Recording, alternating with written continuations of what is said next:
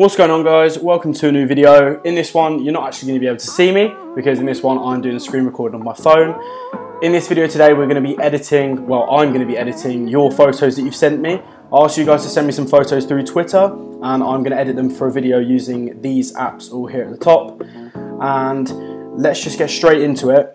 As I've said before, if you do want to get involved in these series that I'm doing, all you have to do is just follow me on Twitter and on Instagram. I'll leave links to both of those and turn on post notifications so you know when I tweet and when I upload to Instagram.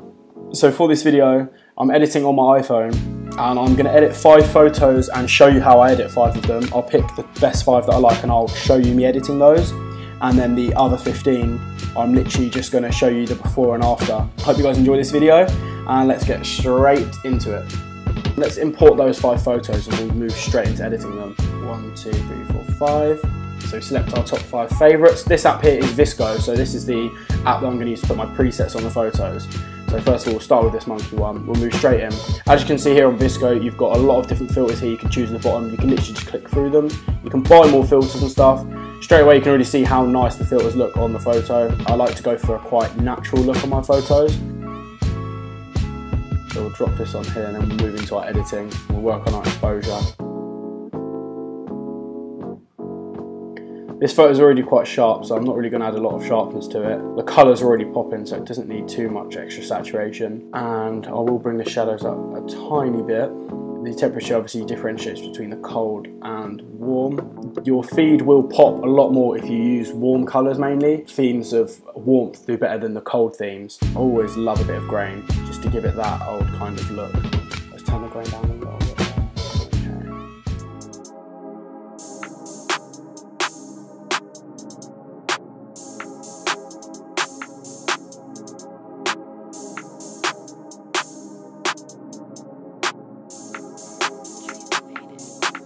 Keep my feelings aside. New bitch tonight. She just here for the ride. I, I, I, I. Keep my feelings aside. New bitch tonight. She just here for the ride. Oh, oh, oh, oh. I don't understand the visions that I'm seeing.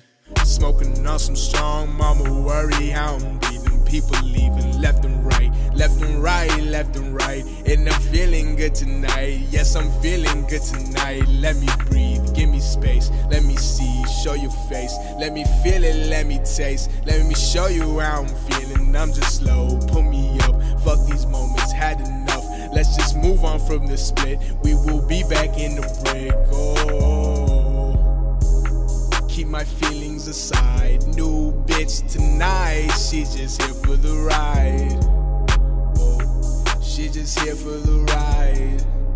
Oh, she just here for the ride. She just here for the ride. She just here for the ride. Oh, yeah. Hey, hey. Whoa, whoa.